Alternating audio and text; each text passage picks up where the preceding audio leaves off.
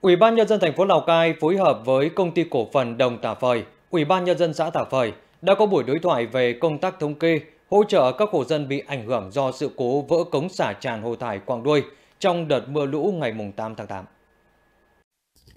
Tính đến ngày 11 tháng 9 đã tổng hợp được 117 hộ bị thiệt hại, trong đó 45 hộ thiệt hại về lúa, 39 hộ thiệt hại về tài sản, vật nuôi, 22 hộ vừa thiệt hại về lúa và tài sản. Có 11 hộ đồng ý di chuyển đến khu tái định cư mới, ước tổng thiệt hại gần 5,5 tỷ đồng. Đến nay, công ty cổ phần Đồng Tả Phời phối hợp với Ủy ban nhân dân xã thực hiện hỗ trợ trên 4,3 tỷ đồng.